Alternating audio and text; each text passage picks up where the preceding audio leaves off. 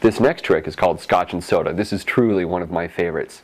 I carry this with me wherever I go. As you can see, we have a 50 cent piece and we have an English copper. Now, an English copper is a little bit smaller than a 50 cent piece, right? So if we put it behind the 50 cent piece, you do what magicians call the eclipse. It's gone! Of course it's not, it's just a little bit smaller. That lets you hide it underneath. Now what we're going to do is we're going to do it again, but in somebody's hand. See, watch, watch. All I'm going to do is I'm going to go abracadabra, hocus pocus, and whoop, there's the trick right there. The wave of the hand, just like that.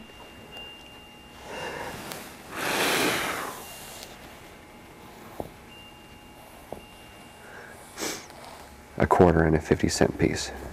Very simple. Anyone can do this one. Scotch and soda. Classic trick.